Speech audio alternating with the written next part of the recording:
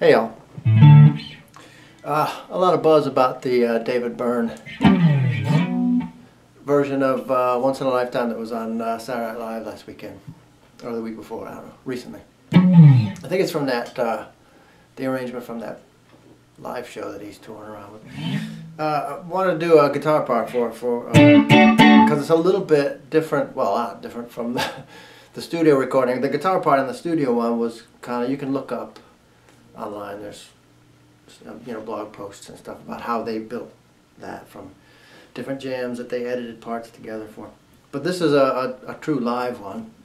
So the guitar part's a little bit different. Sounds really cool though. I like the way they did it. But it sounds to me like it's just a uh, during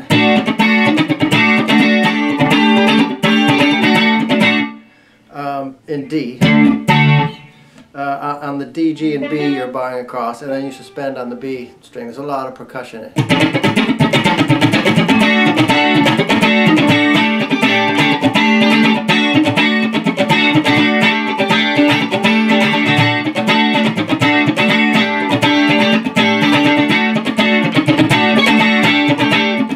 But you'll notice the strum hand just keeps going.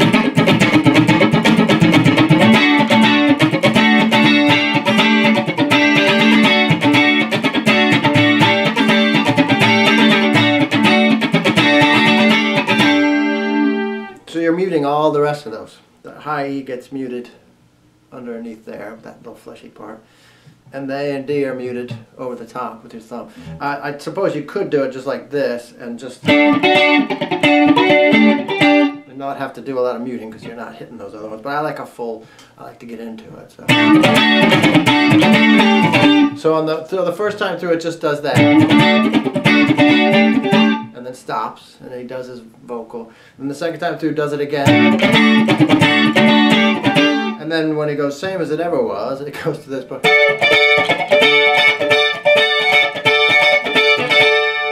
That's taking a D, move it all the way up to an octave up there, same shape. You can hit, you can leave the D open and hit it, since you're playing a D chord. Or you can mute it with sort of mute it with the top of that finger. Or just don't hit it. The only little nuance in that part is at the end of, I don't know if it goes through four or six of them, but listen to it. But at the end, on that high E string, you got to go down two frets. Like that. Um, then it goes back into another break. Then the only thing that's different is the second time it does the whole thing again, one of the... Then it goes through again and does one of these again. And then to this.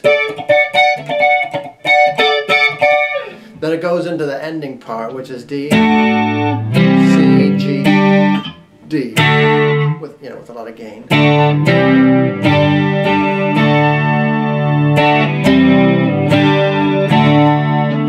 Do do some soloing in D major pentatonic. But that for this live arrangement of it, that's really the the guitar part all the way through. Good luck.